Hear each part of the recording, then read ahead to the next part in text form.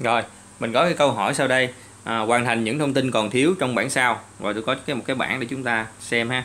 Ở đây mình có được cái à, bảng công thức hợp chất ion là CaF2 đúng không? Thì mình sẽ tìm được cation tương ứng và các anion tương ứng được tạo thành bởi từ CaF2 rất là dễ con này dễ. Rồi à, cation tương ứng là Ca2 cộng thôi. Anion tương ứng là F trừ thôi. Được chưa? Rồi bởi vì mấy bảo này F trừ nhân với 2 lên á thì mới là CaF2 nó mới cân bằng điện tích âm dương đấy không? Rồi ok. Tương tự K cộng là chữ K nè thấy chưa?